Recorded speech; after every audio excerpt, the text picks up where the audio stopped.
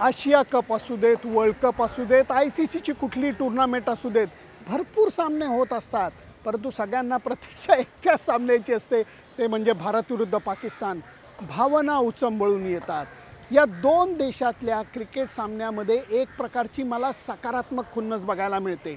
मी सकारात्मक एवढ्याकरता म्हणतो की मैदानाबाहेर सगळे खेळाडू एकमेकांची हसून खेळून बोलताना दिसतात.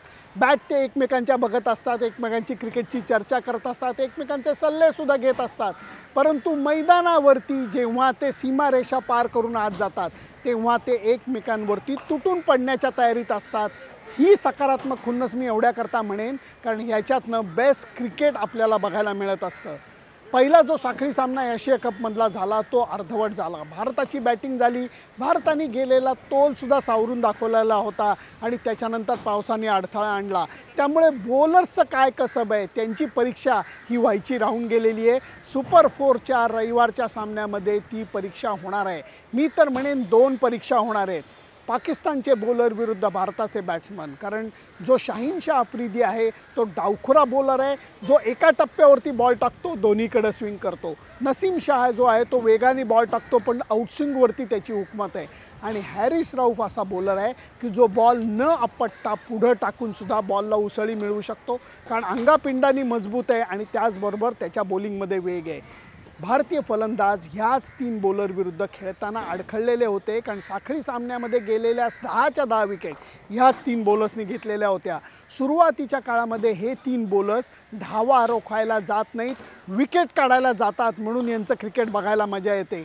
भारतीय फलंदाजांना आता ही मालिका तोडायला लागेल. त्याचं कारण असं आहे की गेल्या सामन्यामध्ये ईशान किशन आणि हार्दिक पंड्यानी मिळून गेलेला तोल सावरला. परंतु शुभमन गिल रोहित शर्मा सलामीला तीन नंबरला विराट कोहली चार नंबरला श्रेयस अय्यर पाच नंबरला के एल राहुल. अशी जर का रविवारच्या सामन्याला बॅटिंग ऑर्डर असेल तर मुख्य धावा फलकावरती लावण्याची जबाबदारी ही याच पाच बॅट्समनवरती आहे ही गोष्ट स्पष्ट आहे. त्यामुळे या बोलर्सना सांभाळून खेळायचं का त्यांना थोडी रिस्क घेऊन अंगावर जायचं?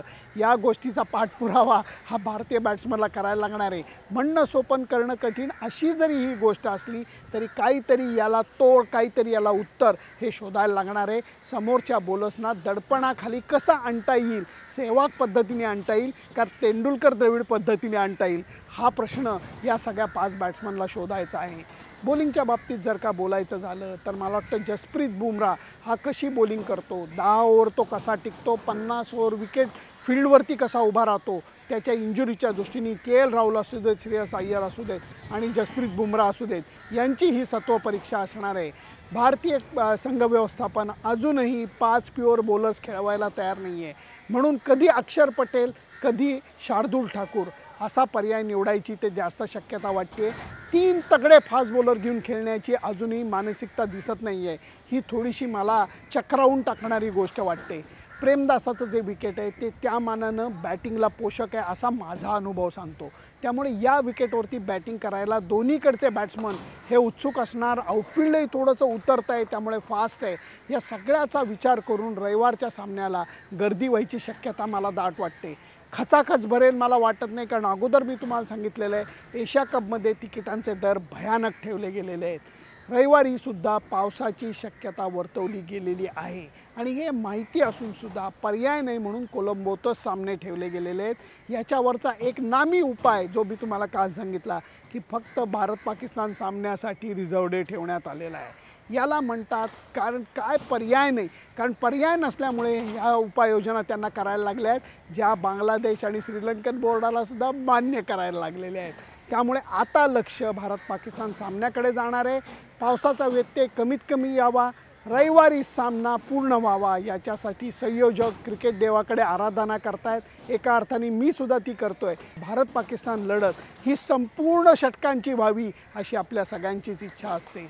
भारताचे सबळ कारणं ही मला वाटतं बॅटिंगमध्ये जर का सुधारणा झाली तर ते फार मोठं महत्त्वाचं ठरेल. कारण आता ह्याच्यानंतरचं प्रत्येक पाऊल हे आपल्याला वर्ल्ड कपकडे घेऊन जाणार आहे.